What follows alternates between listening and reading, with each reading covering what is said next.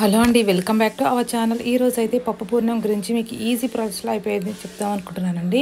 నా video ending వరకు అయితే చూసేయండి. చూడండి నేనైతే ముందు రోజు ఇలా దోశపిండి అయితే పట్టేసుకున్నాను. నెక్స్ట్ అయితే చూడండి పచ్చనపప్పుని ముందు రోజు నానబెట్టేసేసుకొని ఇలా కుక్కర్లో బా ఉడకబెట్టేసేసుకొని స్మాష్ చేసుకున్నానండి బెల్లం వేసుకొని. చూడండి ఫ్రిడ్జ్లో పెట్టగానే కొంచెం టైట్ అయిపోతుంది.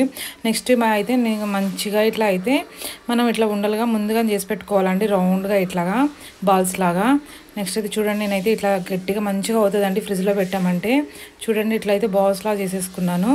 నెక్స్ట్ అయితే చూడండి దోశ పిండిని అయితే మనం మంచిగా ఇట్లా లూజ్గా ఉండేట్టు చూసుకోవాలి. మరీ లూజ్ ఉండకుండా చూడండి ఇట్లా అయితే తీసేసుకొని నెక్స్ట్ ఒక్కొక్కటి వేసేసుకోవాలండి. నేనైతే దోశపిండితోనే ట్రై వేస్తానండి ఎక్కువ ఇవి అయితే. చూడండి మంచిగా వచ్చేస్తాయండి. ఆయిల్ కూడా పాడవదు మంచిగా నీట్గా వచ్చేస్తాయి. చూడండి ఎట్లా వచ్చినాయో.